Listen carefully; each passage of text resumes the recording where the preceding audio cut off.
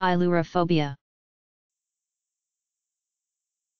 Ailurophobia, an abnormal and persistent fear of cats which produces an undue anxiety reaction even though sufferers realize their fear is irrational. Sufferers of ailurophobia may fear not only the scratch or bite of a cat, but also the evil mystique of cats as depicted in Halloween folklore and such literary works as Edgar Allan Poe's The Black Cat. From the Greek ailouros, cat, and phobos, fear. Alternate spellings, aelurophobia, elurophobia. The Greek word ailourous has also given us the English word ailuroidea, a zoological term for a group of carnivorous animals including cats, hyenas, and civets. An alternate name for fear of cats, galeophobia.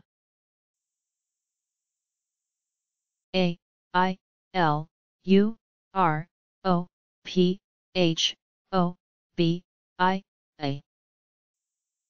Ailurophobia